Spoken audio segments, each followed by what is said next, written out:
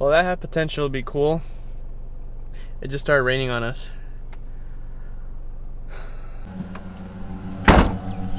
Okay, stopped raining.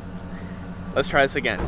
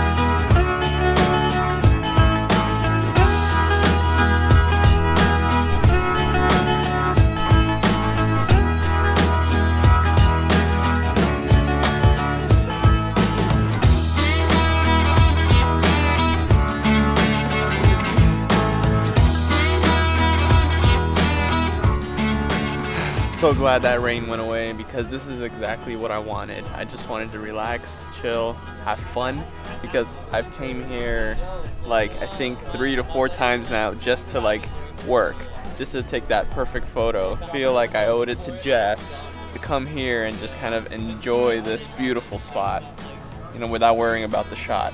The water's good by the way.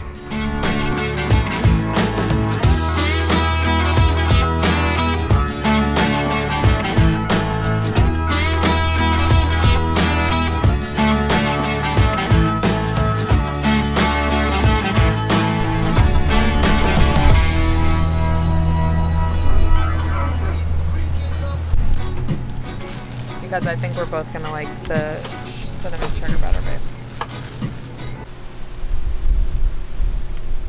That sugar.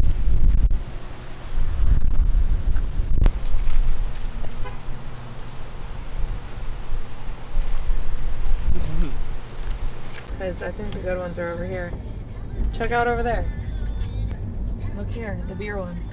Yeah, there you go. That's a good one, that Corona. Oh yeah, look. Vietnamese. Mhm. like There's a little. Okay, so this street has a lot more neon signs than. So we got this place here, the nails, right there. That sign right there. I think in here also, like in there. Yeah. So look. All right. So we got that pho. Maybe inside there we got a couple of stuff, and then this Corona sign should be good. The only look, there's another Pacifico sign. There's an open sign. I don't know. if That's too high. We're still scouting. It's not a lot, and it's really busy. Like we're in the middle. Like we're in the heart of Waikiki, and it's super busy. I mean, it's a bar. There's people that you know are out there smoking. Oops, I'm gonna get pulled over. It was yellow. And that's it. That was my uh, Thursday. We kind of had a small little uh, calm celebration, just me and Jess, because I finally reached 1K in Instagram. Now I gotta work for, you know, not 2K, not 3K. Next milestone's gonna be 10K. Whoa. 10,000.